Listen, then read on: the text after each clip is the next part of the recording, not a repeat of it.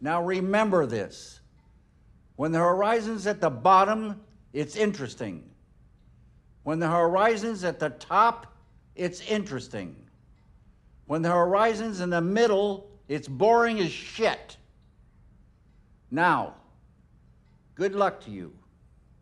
And get the fuck out of my office.